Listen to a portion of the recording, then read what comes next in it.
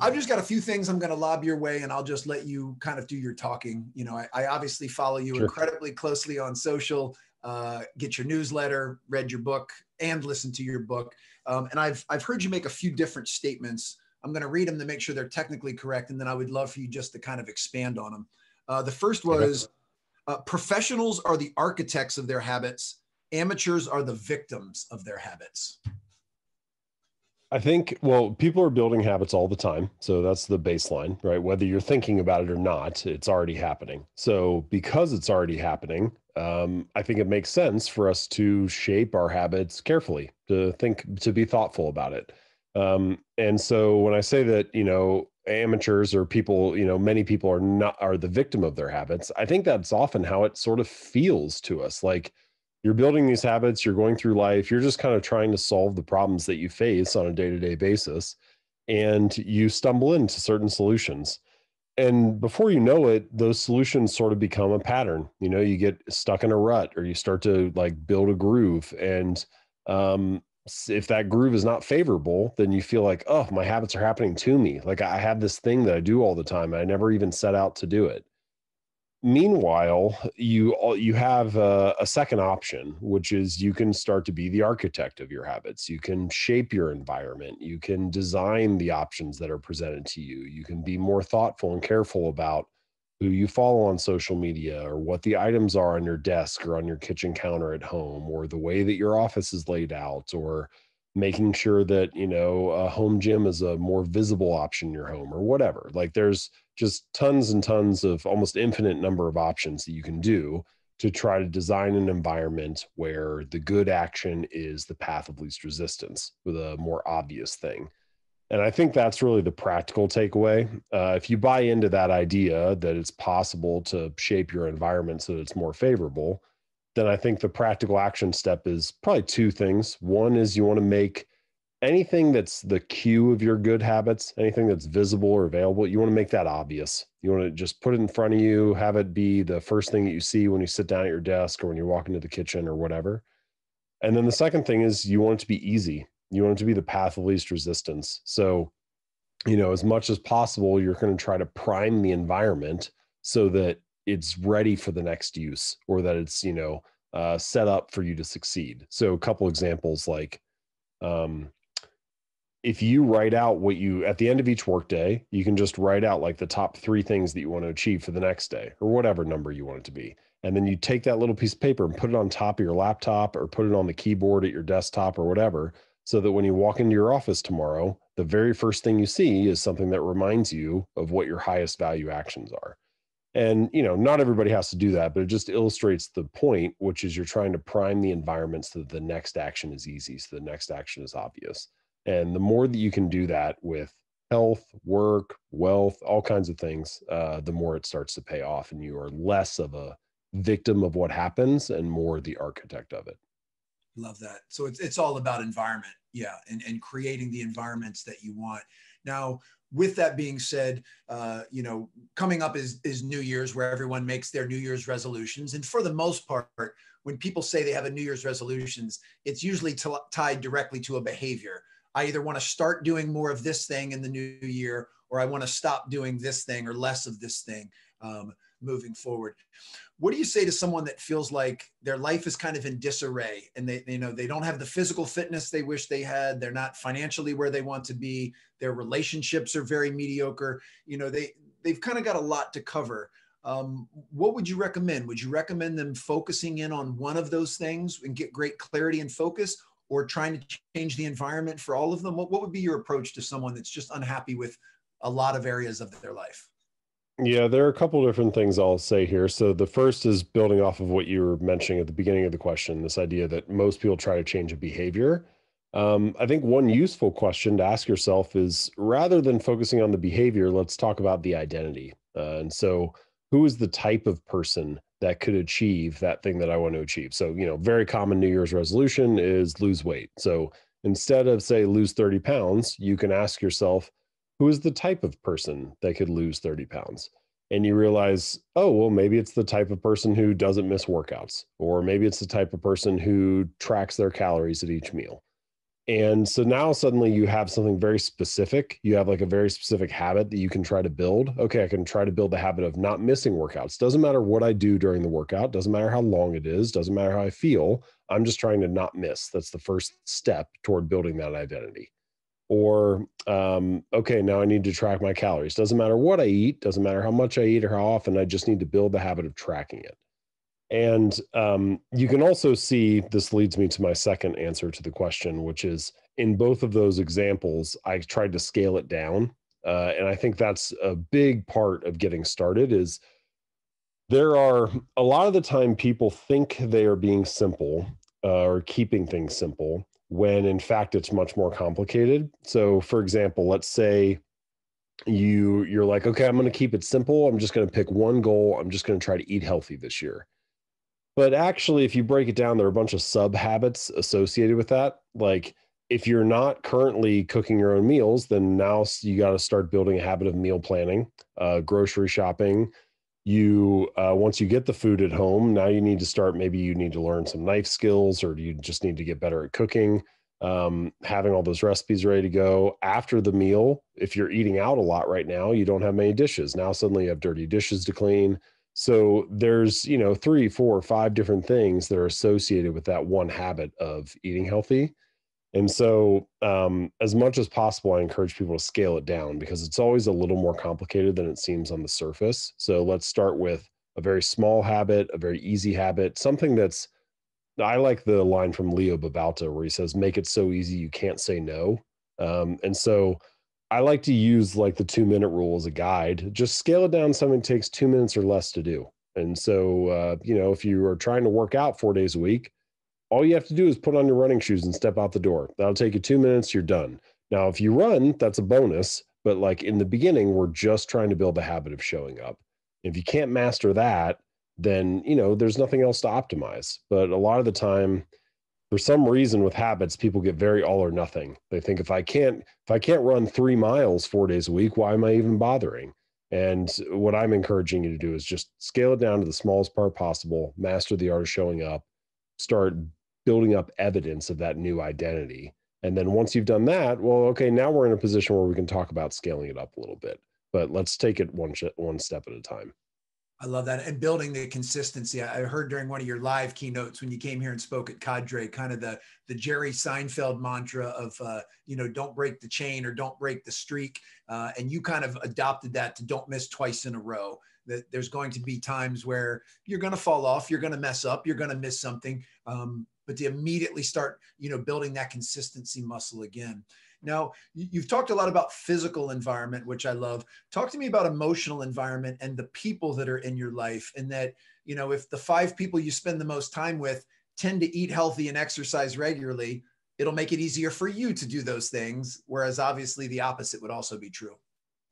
Yeah, I think I do generally agree with that Jim Rohn quote that you're the average of the five people you spend the most time with. And, you know, we have different pockets of five that you spend time with at, you know, work or friends or family or whatever. But we do tend to uh, soak up the habits of the people who are around us. And um, it's sort of like, uh, there's like a um the I, I heard it described well the other day as kind of like the temperature in the room you know if you if you walk into a room and you bring an ice cube in it will melt until it reaches the temperature the average temperature of the room. If you bring in you know something uh if you bring in like a hot plate that just came out of the microwave or the oven it'll cool down until it reaches the temperature of the room.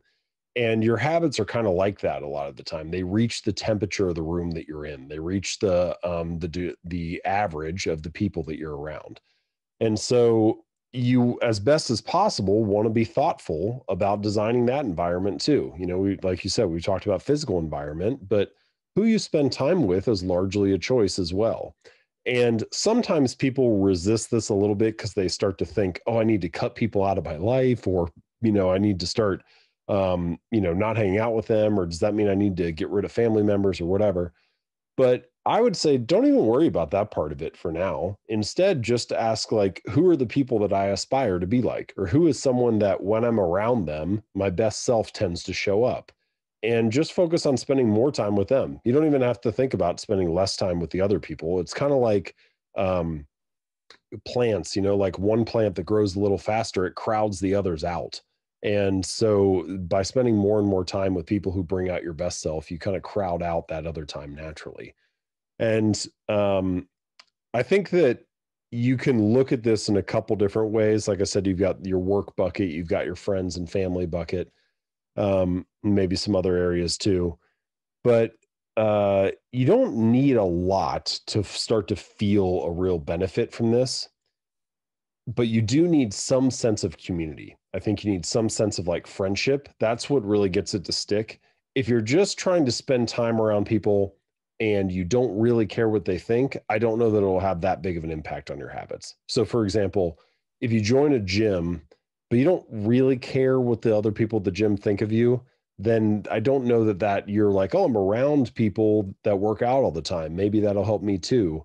But you sort of need to build friendships with them. Like you need to say hi. You need to like introduce yourself. You need to um, get to know them and then actually you care a little bit more about their opinion or you um, start to get to know them and soak up those habits a little more deeply so i think yes the social environment really matters um, but the reason it matters is because of the expectations that people have of us and we generally only care about the expectations of people that we respect or like and so on so friendship plays a big role as well I love that. And I would guess that's probably why, right before the pandemic hit, uh, the smaller kind of boutique uh, you know, Orange Theory and Soul Cycle, uh, and, and groups that instead of going to a big box gym where you're just one person kind of meandering around working out on your own, and instead you're actually joining a class where you've built a community. I, am sure that's one of the reasons those groups have been so successful in, in people getting results.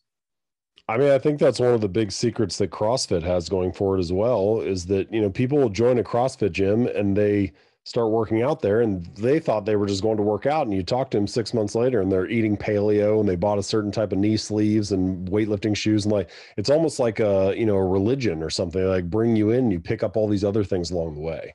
So um, that effect happens all over in life you know like um, say you move into a new neighborhood you walk outside on like tuesday night and you see your neighbor like cutting their grass and you're like oh i need to mow the lawn. I need to trim the hedges partially you do that because it feels nice to have a clean lawn but mostly it feels good to have a clean lawn because you don't want to be the neighbor who's judged by everybody else you know? So it's the it's the social expectation that gets you to stick to it. And um, i think the final point that i'll just add on this is that that social drive that sense of community that sense of social norms and the expectations of others that's one of the strongest forces for getting a habit to stick for the long run there are a lot of these other strategies that we talked about, scaling it down, two minute rule, et cetera. Those are really good for getting a habit to start. Just let me make it easy for me to get off square one. But if you want a habit to last for a year or five years or 10 years or more, it's really, you almost never see that happening in isolation. There's almost always, if somebody's sticking to something for a decade, they've got friends who are doing it too they get to know people in that industry or in that environment or in that area like there's there's a social connection that's a part of that and that social fabric helps sustain habits for the long term. Oh, i love that. Um, i think a lot of people put an overemphasis on on goals. And and half the facebook memes out there in this next couple of weeks leading up to new year's will be about setting new goals and big giant goals. And i've heard you say something to the effect of you know focusing too much on goals it can be a little bit misleading and oftentimes unhelpful. Uh, can you clarify that? Because I, I agree 100% yeah, I mean, first of all, this is coming from someone who is very goal oriented. You know, like I've got goals for all kinds of things, and for many years set goals for you know for all types of stuff. But at some point, I realized that it didn't. A lot of those things I didn't achieve. Some of them I did, but many I didn't. And so I'm like, well, obviously, setting the goal is not the thing that's making the difference here because I set them for stuff that worked and stuff that didn't. And what I realized is that the ones that I achieved were things that I had a system for, that I had a process for, that I had a collection of habits built around. And you know, if you want to take like a, an athletics or a sports example, the goal for any team is to have the best score on the scoreboard at the end of the game. But if you spent the whole game looking at the scoreboard, you would never win. Meanwhile, you can actually imagine a team that doesn't look at the scoreboard at all and just focuses on what's going on in the court or on the field and yeah they they actually might win and so um, in a sense, you always need the system. You don't necessarily need the goal. Um, and in fact, I would say that um, if there is ever a gap between your goal and your system, if there's ever a gap between your desired outcome and your daily habits, your daily habits will always win. The system will always deliver the outcome that it's designed for. And so you can have whatever ambitions, whatever lofty goals you want. If you're not running a system that is organized toward that, that is aligned with that outcome, you're not going to get the outcome. And so um, I don't think goals are useless. I think they're good for setting a sense of direction. I think they're good for clarity. Um, I think they're good as a filtering mechanism. You know, one of the most important things to succeed in any area is to say no to the distractions. And if you understand what your goal is clearly, it's easier to say no. It's easier to run that run new opportunities through that filter and say, does this help me achieve my goal or not? And if not, then I can ignore it. And so goals are helpful for all that stuff. But the system is what determines whether the outcome happens or not. And so my argument is just that we tend to spend too much time talking about goals. Uh, we t- tend to spend too much time talking about outcomes and not enough time talking about the process and the habits and the daily uh, system that you need to be running to inevitably take yourself toward that outcome. I love that. And I love the way you just kind of described this binary filter of, hey, is this going to take me closer to reaching my goal or further away? And, and if the answer is closer, then you do it. If the answer is further away, then you have to have the discernment and the, the discipline to be able to say no. Uh, I know that's something I've often struggled with. I'm a self diagnosed people pleaser, and I like saying yes, and I often overcommit myself. Um, but I, I, love that idea of, of getting great focus.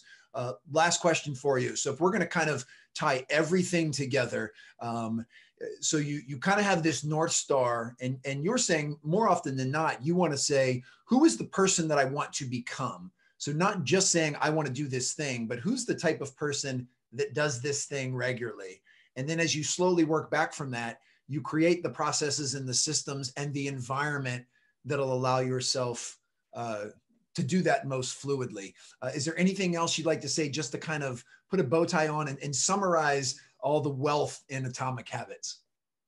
So i think yes i agree with that. I i like the idea of letting identity drive lead the way or kind of drive the the car. Um it can be a little tricky like it may require a little experimentation to figure out what that identity should be for you because what you find is for some people their identity at some point the tighter you cling to one identity the harder it becomes to grow beyond it so this is like a it's a cycle. It's a feedback loop. You have to go through this, you know. And um so uh, you know, a couple different examples. Let's say uh, like a military example. A lot of people after they get done with their service, they're like, "Man, my identity is I'm a soldier. That's like what I've built myself around. That's who I am." And now suddenly I'm no longer serving and so like what am I? They feel like they lost their, themselves. I had something that I felt similarly when my athletic career ended. You know, for 17 years, I was a baseball player. Now suddenly I'm not. What am I, you know, this is what I spent every week working toward. Now what do I do? And I think a lot of athletes feel some, you know, version of that. And so what I would say is you need to experiment a little bit with trying to find the principles or the values or the qualities of that role or position that you can carry with you for your whole life. So to take the military example, no, technically you're not a soldier anymore, but there are a lot of things about being a soldier that you can still make part of your identity. I'm a good teammate. I finish what I start. I always, uh, you know, prepare for my mission and so on. And those qualities, preparation, um, you know, uh, finishing what you start, being responsible, being a good teammate, you can apply those to anything. You can apply that to work, you can apply that to family, you can apply that to friendship. And so if you take that and make that your core identity, then you start to see all kinds of ways that you can continue to build habits that foster that. And I think that the people who really become elite at their craft, they must have some version of that. I don't know how they would describe it, but like if you take Tom Brady, it obvious obviously the identity is not to be a Super Bowl winning quarterback because if that was it, he could have stopped it two decades ago right? It it obviously is something more than that. Maybe that's part of it, but it must be something more. It must be about fulfilling his potential or something. He's got to have something uh, there that's driving him that is an identity that he can keep returning to even after he wins the Super Bowl. Um, and if you have something like that that can drive you, it can become much more of a lifelong mission or much more, you can sustain that effort for a much longer period of time. Um, and the outcomes and the results happen along the way, which is great, but it's not just about that thing. And so I think there needs to be a little experimentation with that. But if you get that right and you come across an identity that feels authentic to you, that feels like it matches with your values and principles, that feels like it's something you can transfer from position to position, role to role, industry to industry, then you really have something special because you can just start building lifelong habits around it and it'll continue to carry you forward. Yeah.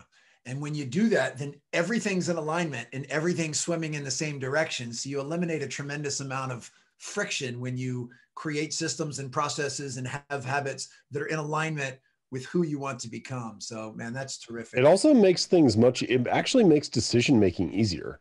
Like a lot of the time, I think making people struggle to make important choices or hard choices because they're torn. They're like, oh, I see the benefit in this or I see the benefit in that. Like it's, you know, it's h- tough to wrestle with these trade offs. But people who have great clarity around the identity that they're trying to build, around the type of person they want to be, who are very, um, yeah, who people who are very clear about what it means to be them, they're self aware, they're authentic. It's kind of easy for them to make those choices because, like, look, that's not who I'm trying to be. It, there is something good about option B but I don't care about that trade off as much because that's not the identity I'm trying to build. So, in a sense, it kind of ultimately comes back to self awareness. Uh, in in that sense, like you need to be, you need to know what you want, and if you know what you want, then it becomes much easier to choose.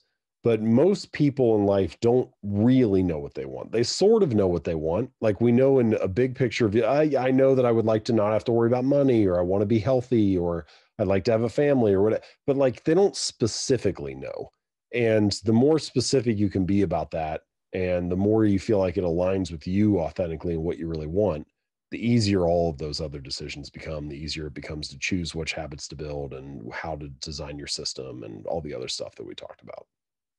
Well, I think that's the perfect exclamation point on this, man. Uh, thank you so much. I can't thank you enough, you know, for your your leadership, your mentorship, your friendship. Uh, love the stuff you're putting out. If if you ever have a formal fan club, I'd like to nominate myself as president. I really really appreciate your great work and and always rooting for you uh, and your continued success, man. So thank you so much for your time. That's awesome. Thanks, Alan. Always a pleasure to talk, man. You got it, brother. Have a great day. That was awesome. All right, cool. Yeah, that's all I needed. That was perfect. Um, so uh, you're working on a new book. I am. Yeah, and this this will this is kind of the research for it. So you know, the yeah. first book, raise your game was how do you reach peak performance, and now it's how do you sustain peak performance for long periods of time with without getting stagnant or burnt out. So um, nice. Yeah, having a blast doing tons of these types of interviews and really digging in. Manuscripts due May first. Uh, book should come out end of 2021, maybe early 2022. Boom. Look at you actually hitting deadlines and getting it out. I got, I'm supposed to get my second book in next fall, and I'm like, hey, already don't feel great about it. And we're a year away. So keep, keep riding the wave of this first one, man, because it just keeps getting bigger and bigger. And uh, it's so, so exciting to see. I mean, yeah, thank you. It's it's been fun. I'm excited for the second one too. It just takes me forever to write these, so we'll we'll we'll keep keep hammering away on it. It'll get done eventually. It, it most certainly will. Well, if I can ever help you in any way, you let me know. All right, cool. Good luck with the book, Alan. Thanks, man. Appreciate it.